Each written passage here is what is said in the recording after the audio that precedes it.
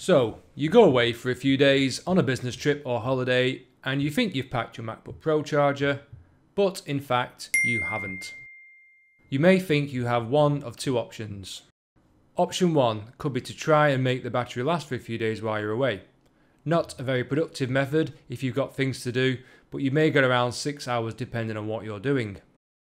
Option 2 could be to visit your nearest Apple store or electronics store and purchase another USB Type-C charger along with a USB Type-C cable. An Apple USB Type-C charger will cost you between 50 to $100 depending on which one you choose or which one's in stock, and another $20 for the charging cable because these are sold separately. You could also purchase a generic USB Type-C charger and cable, but this is risky as will probably not match very well with your MacBook or MacBook Pro. Not a great option as you've already got everything you need at home. But there is a third option which could keep you powered during your trip until you get home. This option consists of using a USB Type A cable to a USB Type C converter. Now this is not a completely free option, but it's by far the lowest priced one you have available.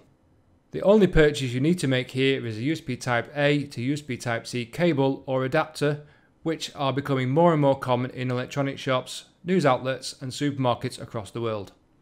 Let's see this in action.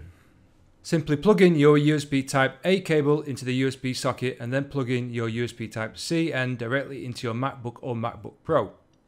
The MacBook will then negotiate a power draw from the USB port and take what is available for charging. So what kind of charging speed can you expect? This all depends on the USB Type A power output you plugged it into. A good USB power source could provide 5 volts at 2.4 amps, which is equal to 12 watts of power per hour. This is what a standard iPad charger provides. This means you could charge a 12-inch 2017 MacBook in 3.4 hours, a 13-inch 2017 MacBook Pro in 4.3 hours, or a 15-inch 2017 MacBook Pro in 6.3 hours. You could recharge your MacBook overnight very comfortably from empty or if you're out for dinner with friends or colleagues.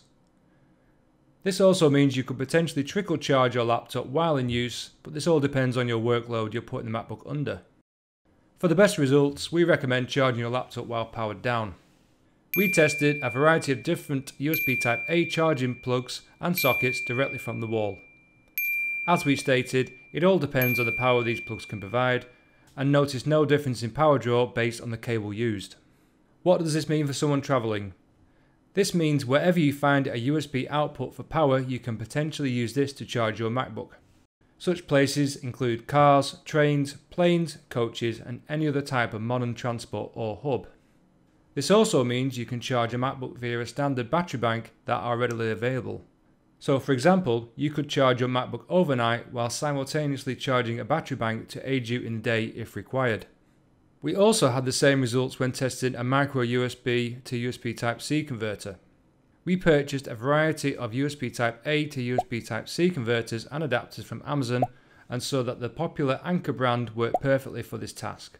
You're going to come across a wide range of cable brands, but they should work just fine as long as they are well made. You'll find some links in the description to the Anker cables and connectors if you need them. If we wanted to recommend anything, it would be to purchase a small micro USB to USB Type-C converter from Anker as these fit in your wallet or purse and are very handy when you need to charge them with a USB Type-C device. That way you'd simply use them in conjunction with a micro USB cable which are available practically anywhere in the world. You shouldn't run into any problems while using the method of charging as the USB port is limited to 5 volts. But as always, test this out for yourself and do so at your own risk. So there we have it, a very affordable way to charge your MacBook while you're away for a few days that works perfectly fine until you return home.